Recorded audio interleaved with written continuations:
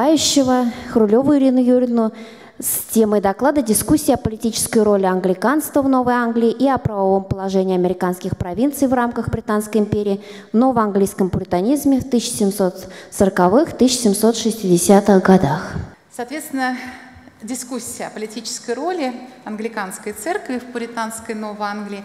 Эти вопросы прежде всего касались э, проблем назначения англиканского епископа в североамериканские колонии э, в XVIII веке. И вот это сугубо религиозное, казалось бы, противостояние англикан и пуритан – первой половине XVIII века постепенно переросло в одно из самых острых политических противоречий, которое раскололо колониальное общество и послужило важной предпосылкой американской войны за независимость.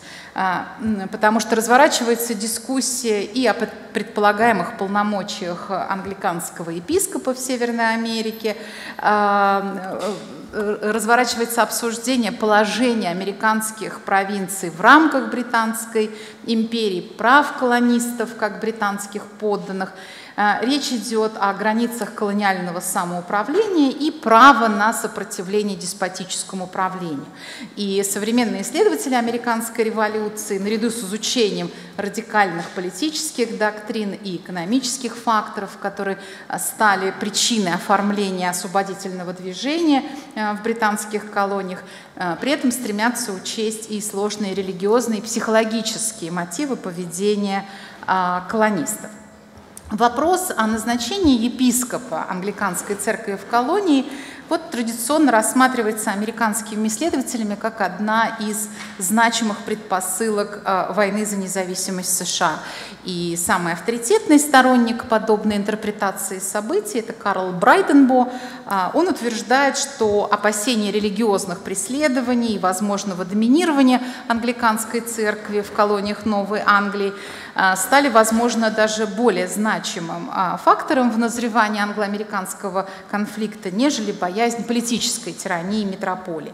И вот, э, не отрицая э, радикальных последствий развернувшихся религиозных дебатов о необходимости назначения епископа и сфере его полномочий, современные исследователи все-таки пытаются вписать этот конфликт, церковный конфликт, в более широкий исторический контекст функционирования политического механизма Британской империи и рассуждает о религиозных тоже противоречиях, но в контексте беспрецедентного расширения Британской империи после а, Семилетней войны.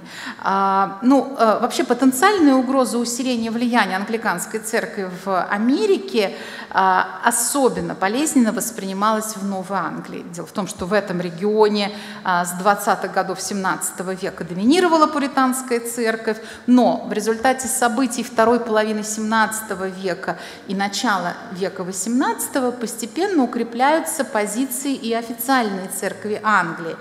И э, несмотря все-таки на очевидное покровительство, да, переключишь на, да, на очевидное покровительство англиканской церкви со стороны властей метрополии, число англикан а, в новоанглийских колониях – в первые десятилетия XVIII века было невелико, но ситуация начинает кардинально меняться с созданием общества по распространению Евангелия. Это общество, так сказать, щедро финансируется эм, церковью метрополии. И одной из задач э, этого общества был подрыв влияния э, пуритан э, в колониях Новой Англии.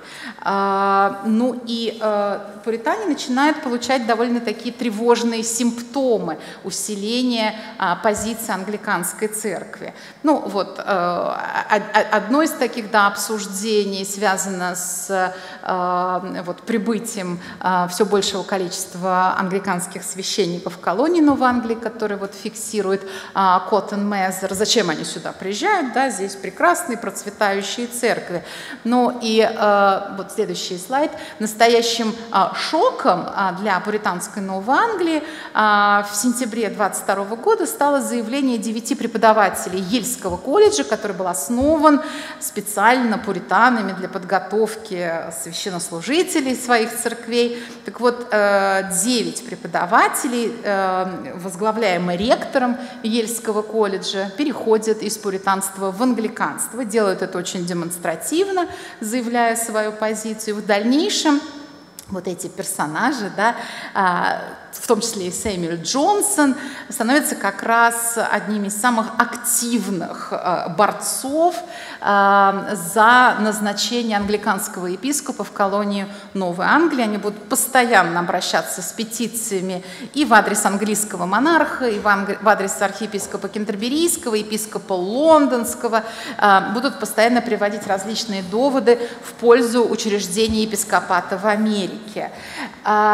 И все же, вот несмотря на все эти э, попытки усиления э, давления, э, усиления влияния англиканской церкви в, Новой Англии, пуританизм, конечно, продолжает оставаться доминирующей религиозной доктриной в этом регионе, но расклад сил начинает потихоньку меняться. Это тоже было очень э, тревожно, потому что э, англиканская церковь становится привлекательной для жизни, для жителей колоний даже с точки зрения их возможной а, политической карьеры. Да? А, и а, а, э, вот многочисленные а, петиции англикан а, в адрес Лондона, они отложились э, в такой прекрасной коллекции а, дворца Ламбет в центре Лондона, это дворец архиепископа Кентерберийского, и там, собственно говоря, вот находится этот архив, это переписка американских, англиканских священников вот с руководством англиканской церкви. Да? И с точки зрения представителей англиканской церкви в колониях Новой Англии, вот самым ярким представителем, наверное, вот и был Сэмюэл Джонсон, неспособность или нежелание властей метрополии назначить епископа в Северную Америку свидетельствовало о недостаточной поддержке государства государством а, и официальной церкви и изъянах политики религиозного а, плюрализма. А, но колониальные священники англиканской церкви постоянно жалуются на многочисленные притеснения. Вот здесь одна из таких выдержек да, этой жалобы, этой петиции в адрес епископа Лондона, который в отсутствии специального епископа, который бы занимался Северной Америкой, вот лондонский епископ опекал священников англиканской церкви в Америке. И постоянно говорят о том, что в отношении них нарушаются как раз положение Хартии Массачусетса, которое дарует свободу вероисповедания. Они находятся в положении диссентеров. Вот в этих колониях, а не, казалось бы, пуритане диссентеры да, на территории Э, британских колоний в Северной Америке. А, ну и э, можно следующий да, слайд. Священников особенно, а, англиканских священников, особенно возмущала практика взимания особого налога со всех жителей а, колонии Массачусетс на содержание конгрегационалистских церквей, на содержание пуританских школ и колледжей. И если англикане отказывались уплачивать этот налог на содержание пуританских священников, они подвергались тюремному заключению. Но чаще всего они просто облагались вот двойным налогом, как а, здесь об этом и написано в этой цитате. И а, они были уверены, что а, епископ а, в Америке нужен прежде всего для того, чтобы защищать интересы англикан а, в колониях Новой Англии, а, потому что права их повсеместно нарушаются. Но а, Э, на самом-то деле американские и британские историки, которые изучают идейные дискуссии в Америке по вопросу о назначении англиканского епископа не пришли к единому мнению относительно предполагаемых полномочий церковного иерарха. Все-таки до конца не, до сих пор непонятно, а, был ли бы епископ а, наделен особыми прерогативами а, и, возможно, в политической сфере, или, так сказать, его полномочиями так сказать, были только в сфере церковной, в сфере религиозной. Был ли бы он, так сказать, э, особым наделен статусом как представитель официальной церкви метрополии, возможность влияния и на политические вопросы. Так вот, вопрос о политической роли англикан христианство а, становится центральным в конфликте пуритан и англикан Новой Англии все-таки со второй половины 40-х годов после поражения крупного, крупнейшего якобитского восстания 1745 а, года в метрополе. И а, авторы пуританских проповедей и памфлетов начинают задавать крайне неудобные вопросы о положении американских провинций в рамках империи, правах колонистов как британских подданных, границах колониального самоуправления а, и право на сопротивление деспотическому а, правлению. И а, вот в развернувшейся памфлетной войне представители англиканской церкви, в свою очередь, начинают увязывать вопрос политической лояльности подданных Британской империи с исповедованием англиканства. А пуританские оппоненты настаивают не на английском, а именно на британском характере империи и отрицают полномочия англиканской церкви в целом ряде британских владений. Но и э, любые слухи, которые касались э, возможности учреждения епископата в Северной Америке, э, вот уже начиная с конца 40-х годов XVIII века, мгновенно попадают на страницы новоанглийских газет и вызывают яростные дискуссии. И вот в подобной достаточно наэлектризованной атмосфере появляется главная пуританская тираноборческая проповедь, подготовленная пастором одной из бостонских конгрегаций а, Джонатаном Мэйхью. Надь, можно следующий, да? А, и она посвящена а, всестороннему обоснованию права народа на восстание. Проповедь эта была написана э, по случаю столетней годовщины казни английского монарха Карла I, и, по мнению Мэхью, нужно подчиняться только тем правителям, которые используют власть должным образом, и совершенно недопустимо подчинение власти тиранов и угнетателей, и восстание в таких обстоятельствах – это долг, а не преступление, а неповиновение является законным и э, славным. И э, Мэхью сравнивает светскую тиранию и церковную тиранию, что было особенно важно вот в свете этого англиканского и пуританского противостояния э, по вопросу назначения епископа в колонии Северной Америки. Да? Надя, переключишь. Вот он как раз говорит, что э, светская да, тирания обычно бывает незначительным в самом начале, пока не превратится в мощный поток. И это же можно сказать и о церковной тирании, самой жестокой, невыносимой и нечестивой. Но э, в пылу вот этой полемики англиканские авторы даже стали обвинять Мэхью и в якобитских симпатиях, а в частной переписке с иерархами англиканской церкви открыто говорили о публикации его проповеди как об акте государственной измены, что происходит в колониях Новой Англии. А начало э, Семилетней войны, а главное назначение Томаса Секкера, да, переключишь, а, активного сторонника учреждений и епископата в Северной Америке архиепископом Кентерберийским а, в 1758 году, дает англиканам Новой Англии надежд на окончательное решение вопроса. Но Секер несмотря на все свои симпатии, а, все-таки предостерегает англикан от каких-то резких заявлений и требований. Да, он говорит о том, что все, что касается учреждений епископата, должно решаться спокойным, закрытым а, образом. Но дело в том, что огромное территориальное расширение Британской империи в результате Семилетней войны и включение в состав подданных британской монархии французских католиков Квебека а, заставило власти метрополии скорректировать демонстрировать свою религиозную политику, традиционно отличавшуюся откровенным антикатолицизмом, и всерьез рассмотреть петицию жителей Квебека, исповедующих католицизм, о назначении католического епископа в Северную Америку. Многим, а, как в метрополии, так и в колонии, реальной казалась угроза утраты протестантского характера Британской империи и роста чудовищной гидропапизма. Но англикане Новой Англии были уверены, что у них-то наконец появился реальный шанс добиться назначения англиканского епископа в Америку. Если уж завоеванные подданные французы в Канаде добиваются того, чтобы им разрешили епископа, неужели в этом праве будет отказано а, а урожденным подданным его величества? А, ну и одновременно а, наступление на а, земли французского Квебека обострило и соперничество англиканских и пуританских миссионеров в борьбе за души индейцев.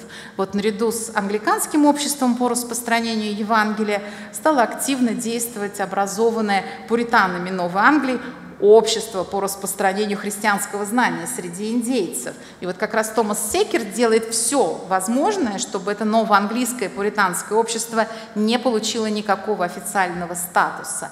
И э, теперь уже архиепископ э, кентерберийский вступает в дискуссию, но она такая была немножко анонимной, потому что э, он э, вроде бы не под своим именем публиковал эти памфлеты, но он вступает в дискуссию э, с пуританскими священниками, вот как раз касающиеся вопроса учреждения епископата в Северной Америке. Надь, можно следующий? А, и вообще э, Секер, архиепископ кентерберийский, Драмонт, архиепископ Йоркский, готовят совместный проект – решение об учреждении англиканского епископата в Северной Америке. А, они э, представили данный акт проявлением веротерпимости в отношении англикан, которые населяли британские колонии, и э, гарантировали полную веротерпимость в отношении пуритан Новой Англии, говорили о том, что не будет собираться десятина на содержание епископа. В очередной раз речь идет о том, что полномочия епископа будут ограничены исключительно религиозной сферой, и его резиденция должна располагаться за пределами Новой Англии. А, и одновременно Томас Секер э, анонимно публикует памфлет, в котором пытается э, успокоить пуритан он утверждает, что учреждение епископата будет э, гарантией религиозной свободы для всех протестантов Северной Америки, и э, любые страхи возможных преследований за пуританскую веру со стороны англиканской церкви явно преувеличены. Англикане терпимы даже к самым нетерпимым, пишет э, Секер. А, Мэхью можно следующий, да, формально-то вот многочисленные, да, все вот эти да, приведены названия а, памфлетов. А, Мэйхью вроде бы и соглашается с доводами Секера в пользу ограниченного епископата в американских колониях, но считает, что подобное развитие событий маловероятных а, и а, одновременно а, считает угрозу утраты империи ее протестантского характера вполне реальной.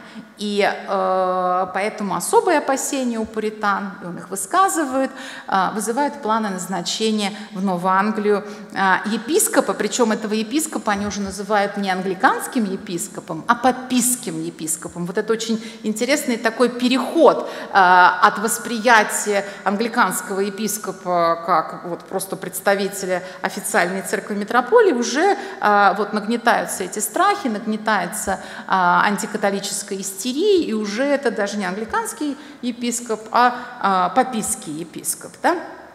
А, одновременно вот подобная примирительная риторика а, Секера а, вообще-то обижает и англикан Новой Англии. Они были уверены, что наконец-то настало время жестко продемонстрировать диссентерам особый статус англиканской церкви во всех британских владениях.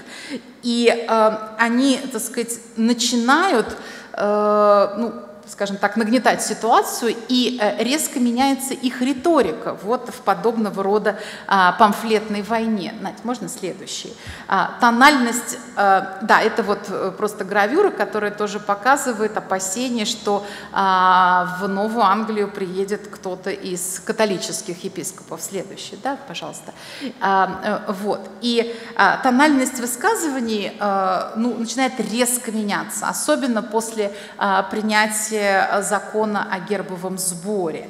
Конечно, это все происходит на фоне обострения политических противоречий между метрополией и колонией. И а, англикане допускают весьма категоричные суждения в адрес пуритан, которые они себе ранее не позволяли. Они связывают отсутствие епископов в Северной Америке с потенциальной угрозой восстания. А, и а, вот англиканский священник Генри Каннер как раз в переписке а, личной с Томасом Секером, да, вот это, так сказать, э, эти материалы хранится, хранятся в рукописной коллекции а, дворца Ламбез. Он утверждает, что а, в любом королевстве всегда следует опасаться революции. Со своей стороны я не могу избавиться от этого тревожного предчувствия из-за неприятия важнейшего и необходимого института, лежащего в основе нашего а, государственного устройства. И категорически отвергая компромиссные варианты, которые пытались предложить э, представители англиканской церкви метрополии а, в нарушении, на самом деле, церковной субординации англиканское духовенство Новой Англии в конце уже 60-х годов XVIII века начинает собственную пропагандистскую кампанию, пытаясь склонить общественное мнение а, колонии в пользу проекта назначения епископов Северной Америки. И здесь, так сказать, наибольшую активность проявляет можно следующий слайд. А, Томас Чендлер, вот, э, так сказать, публикует э, уже обращение к общественности, да, appeal to the public, а, пытаясь э, все-таки аргументировать необходимость назначения епископа в Америку. Ну, ответ, конечно, пуританских авторов не заставляет себя ждать. Знаете, следующий. Это Чарльз Чонси, еще следующий. Чарльз Чонси, один из самых, так сказать, таких авторитетных авторитетных а, пуританских священнослужителей, а, опять же таки, а, вот, берет на себя труд полемизировать с англиканами. Но в условиях нараставшего англо-американского конфликта, казалось бы, сугубо религиозные вопросы начинают приобретать такое откровенно политическое звучание. И э, в памфлетах, в газетных публикациях активно обсуждается связь религиозного конформизма, то есть приверженности официальной церкви метрополии и политической лояльности. И э, все чаще и чаще представители англиканского духовенства высказывают мысли о том, что среди англикан практически нет мятежников, это в основном верные подданные британской монархии, я уже завершаю, да? А, но наша церковь не сможет долго продержаться в этом регионе, где у нее так много могущественных врагов. Да? А, Надь, можно вернуться в самое начало? А, и, или уже нельзя? Хорошо, в самое начало там карикатура. А, а, колонисты Массачусетса опасались, что они вне зависимости от их э, религиозных убеждений, они будут платить существенный налог, который пойдет на содержание англиканского епископа. И вот эта карикатура а, очень показательна. Здесь изображена разъяренная бостонская толпа, которой привиделся призрак только, призрак англиканского епископа, которого якобы назначил в Америку глава англиканской церкви и э, монарх. И одна из надписей на плакатах, которые держат протестующие колонисты, гласит, в Новой Англии нет места лордам ни духовным, ни светским, да, вот в самом, так сказать, уголке uh, «No Lords». Uh, и этот лозунг явно указывает на переплетение требований политического и религиозного протеста в колониях. Uh, другая надпись гласит «Стоит ли обязать тех, кто не может содержать себя сам, содержать епископа?» Но здесь мы тоже видим такое своеобразное религиозное э, воплощение вот многих требований уже последних лет перед началом войны войны за независимость, а, по сути дела, требование, вот нет налогообложения без представительства. Да, здесь, по сути дела, речь идет о том, что мы не будем а, платить специальный налог на а, содержание епископа.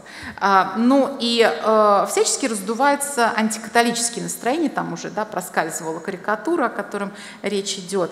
И вот постепенно в общественном сознании а, колонии Новой Англии любые действия английского кабинета начинают отождествляться с насилием в вопросах веры.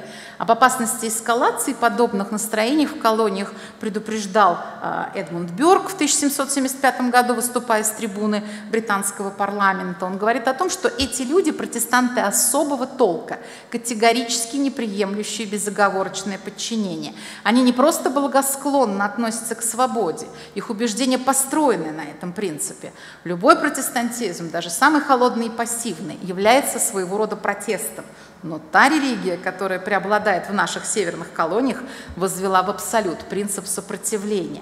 Ну и завершая э, свое выступление, хочу сказать, что священники пуританских церквей Новой Англии сыграют особую роль в мобилизации патриотического лагеря во время войны за независимость. Об этом будут писать многие современники, многие лоялисты, когда будут э, анализировать причины э, американского мятежа. Они будут говорить о том, что когда священники вовлечены в политические баталии религия становится могущественным орудием, способным либо поддержать, либо опрокинуть э, государство и превратив сопротивление колонистов в праведную борьбу, обратив свой призыв к различным группам колониального общества, священники, в общем, прекрасно справились с задачей мобилизации патриотического движения. Спасибо большое.